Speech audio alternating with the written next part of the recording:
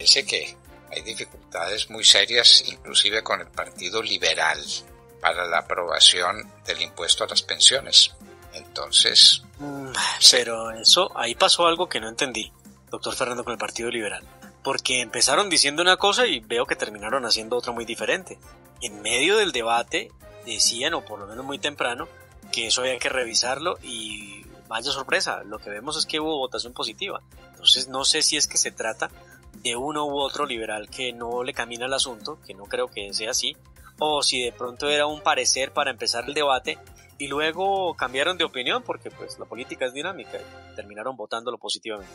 Las pensiones de jubilación con gravamen. Ese, ese es un dinero que la gente se ganó y la gente para ganárselo tuvo que pagar impuestos. Eh, los IVA, la retención, la fuente, los impuestos de renta, todo eso lo pagaron los que acumularon el dinero a lo largo de los años y cuando lo acumulan le dicen ahora venga para acá papá le voy a cobrar impuesto sobre su pensión de jubilación. Es lo mismo que el impuesto al patrimonio, ¿no? Usted produzca, trabaje, eh, tenga una renta, yo le cobro por la renta que tiene y después le cobro por el patrimonio que ha reunido.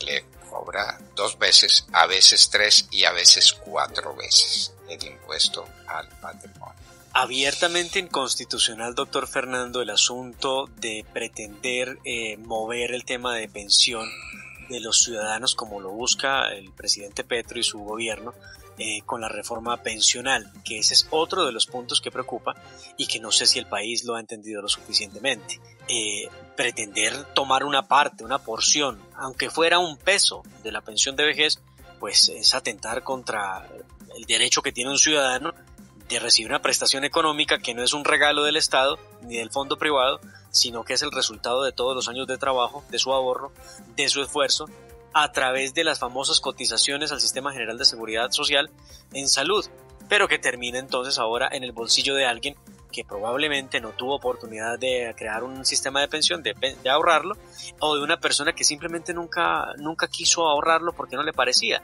Muy complejo este tema de querer redistribuir la tierra, redistribuir la riqueza y ojo porque viene otra, redistribuir las comunicaciones. Otro proyecto que tiene el pacto histórico en las manos para redistribuir la forma como está eh, otorgado el, electro, el, espacio electromagnético, el espectro, eh, en cuanto a las emisoras de radio en el país. Allá nos lleva. Ah, ah, Ave María.